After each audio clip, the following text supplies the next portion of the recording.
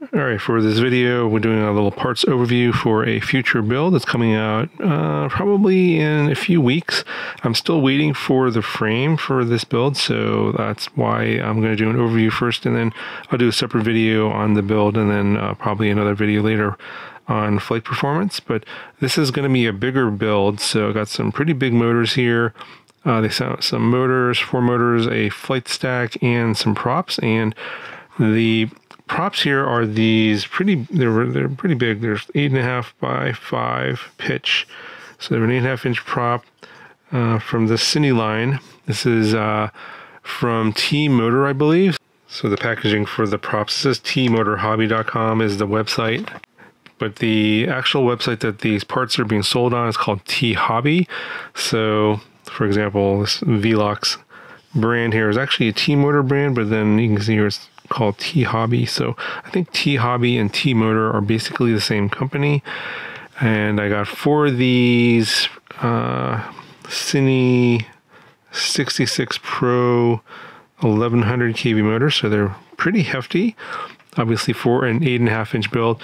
I believe on the specs I'll show you here in a second, this is uh, intended for an eight and a half inch or nine inch prop. So I am going to, of course, do the build on this prop first, and you'll see that initially. But then the frame I got is a 10 inch frame. So here's what the frame looks like. I think this is a clone of a Kep RC frame that is no longer being produced, but I think it should work pretty well. And it's for 10 inch props, but of course it'll work for smaller props. So I'll initially do a uh, fly around on an 8.5 inch prop, and then we'll do a 10 inch, I believe, I'll do a folding prop for that video. That'll be quite a bit down the line. Probably won't see that for a couple of months. But yeah, I don't have this frame yet. I ordered it on Amazon, but it apparently is coming from China, so it is a little bit delayed going through customs. So this is the stack they sent me, the V70A SE8S. So it's an ESC plus a F7 stack, so it also will run on 8S, but of course I'm going to be running this on 6S. But just uh, some of the specs here, if you want to pause the video on this particular stack, we'll look at the actual components here shortly. It does appear to have the AM32 firmware for the ESC and has a peak current of 75 amps. Flight Stack does have Bluetooth there, so if you want to connect, I think with using the SpeedyBee app uh, via Bluetooth on your phone, you can you know, you know, have don't have to bring a computer or laptop out to the field if you want to change any of your Betaflight settings. It does come with 128 megabytes of black box data as well. Opening up the box, you can see the flight stack here, and it does have this little diagram here for the flight controller, so you can see where some of the solder pads are and what they actually mean. And they are labeled on the flight controller as well, as you can see here, but they, um, in case you're not sure, uh, they are on this uh, little card as well.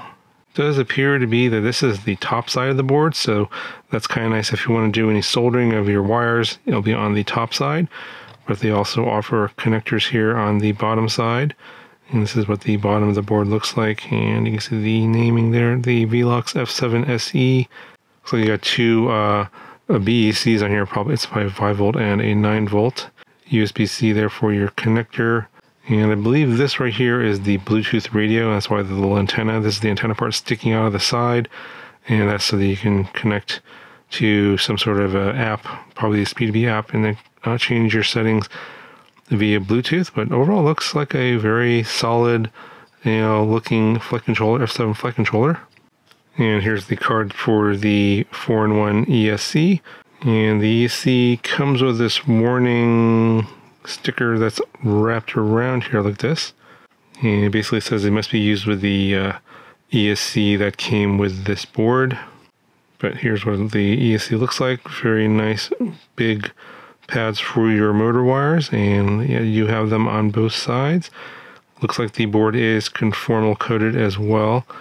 So should be able to handle some small amount of uh, splashes and or damp grass shouldn't be a problem. You have your connector there, but no solder pads for the motor. Um, well, the uh, connector goes to the flight controller. You'll have to use the included uh, connector that comes in the kit, and again, it's it's uh, conformal coated on both sides.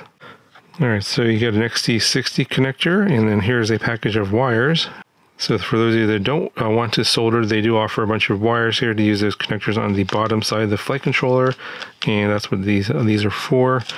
And then you get a couple of these pretty large uh, capacitors. They're not the same size. So obviously for different voltages, so 50 volts, 1000 microfarads, I think it's for an 8S setup.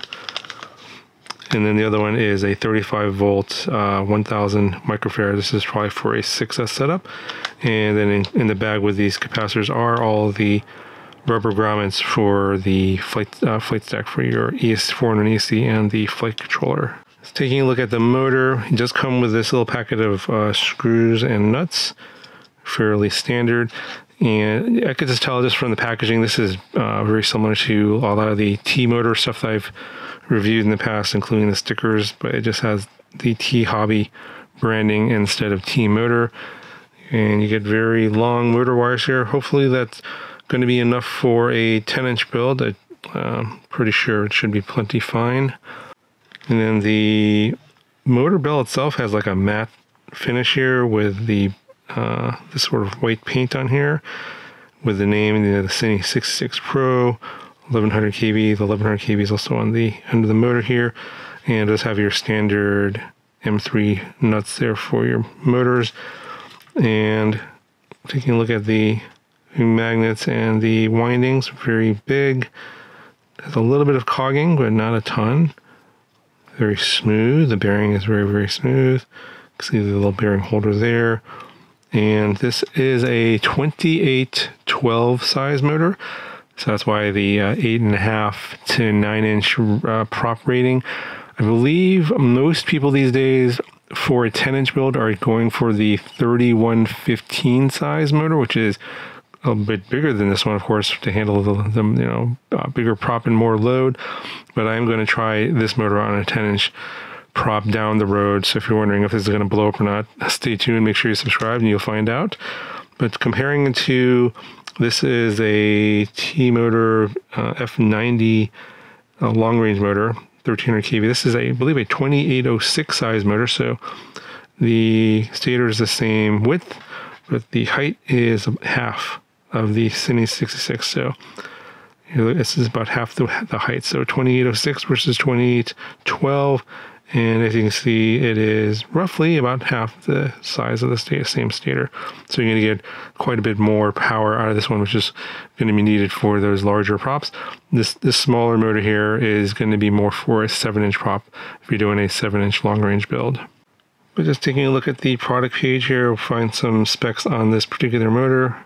And in terms of the specs here, there are the dimensions, stator configuration, 133 grams, 5 millimeter shaft, very standard, 19 millimeter mounting pattern. It is rated for 6S, max power 1830 watts, peak current of 82 amps, max thrust of 4.1 kilograms, and then has a recommended setup here for the other parts. Anyway, it's going to cover for this video for now. I will have a, a, build video with the frame in a later video coming up soon, and of course all the flight testing with the 8.5 inch and 10 inch folding props down the road. So make sure you're, you're subscribed and stay tuned for those videos. Got any questions, let me know in the comments below, and I'll talk to you guys in the next one.